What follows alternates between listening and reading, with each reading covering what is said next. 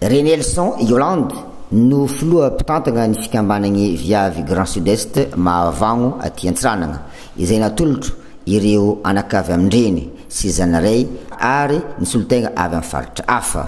Tsindrim-peo hatrany ho an'ny filoham-pagnorogno an'ity fikambanan'ny viavy Grand Sud Est Mahavagno ity Député Randrianasolo Volatahina Pauline, izay voafidy tao amin'ny distrikan'i Vondrozo, nandritra ny fotoam-panolorana ny birao ny antony mafonja nampijoroana ny fikambanana. Mba natao izy ity izany hampiray hina ny vehivavy rehetrarehetra ao anatin'ny Grand Sud Est ary hampifankatia. Mifampitaiza ihany koa satria dia vehivavy marobe no atambatrinao raiky.